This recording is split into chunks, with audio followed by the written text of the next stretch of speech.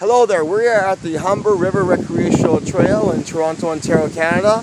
Today is still Thursday, October 4th, 2018. I'm Howard Paul Shore. And Allan, where are we now? A pond. Joining the Humber River. Okay, cool. With lots and lots of ducks that are all swimming freely, and I guess they have caught a lot of fish. I suppose if there were not any fish here, there probably wouldn't be too many ducks. So it's definitely a great place for them to swim, and it's a beautiful view.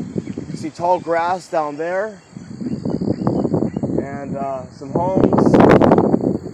It's a wonderful place to visit, and it's my first time here, by the way. So hopefully you'll come out to and check it out. Thank you very much, and have a great day. Bye bye.